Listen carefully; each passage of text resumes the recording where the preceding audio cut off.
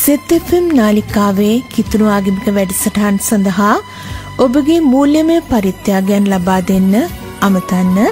බිඳුවයි හතයි හයයි තිස්ස එකයි හැත්ත පහයි හත්සිය හැත්ත අට බිඳුවයි හතයි හයයි තිස්ස එකයි හැත්ත පහයි හත්සිය හැත්තාට විසවස කොයගත දහම් යදුම්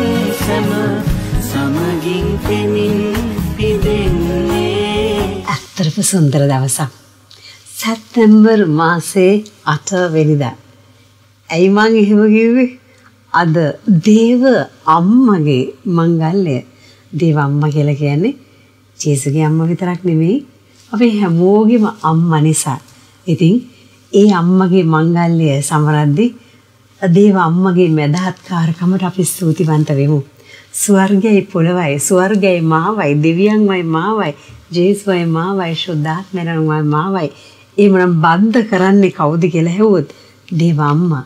ඉතින් දේව අම්මට ස්තුතිවන්ත වෙමින් දේව අම්මගේ ජීවිතය දිහා අපි බලද්දී අපිට දැනෙන ලොකුම දේ තමයි ඈතිල තිබිච්ච නිර්මල භාවය. ඇගේ තිබිච්ච භාග්‍යවන්ත ස්වභාවය, භාග්‍යවන්ත බව.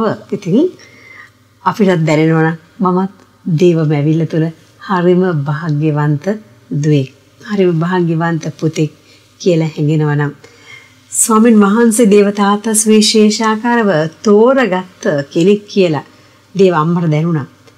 අපිට දැනෙනවා නම් අපි එක එක්කෙනා මොන ජීවිත තලයක හිටියත් අපිත් සුවිශේෂීව ස්වාමින් වහන්සේ තෝරගත්ත පුද්ගලෙක් කියලා අපිට දැනුණොත් මොනතරම් ජීවිතය සුන්දරයිද මොනතරම් ජීවිතය වටිනවද මගේ රත්තරන් අම්මේ තාත්තේ දේවපතේ.